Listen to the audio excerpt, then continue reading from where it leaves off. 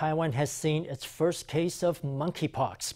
A Taiwanese male in his 20s who had been studying in Germany since January flew back to Taiwan last Thursday.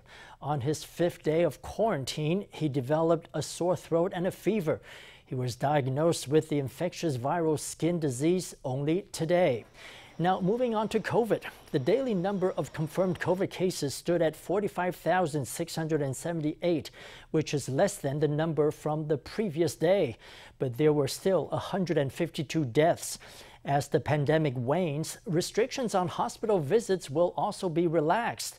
Visits to patients under certain conditions will be open to a maximum of two visitors at a fixed time each day.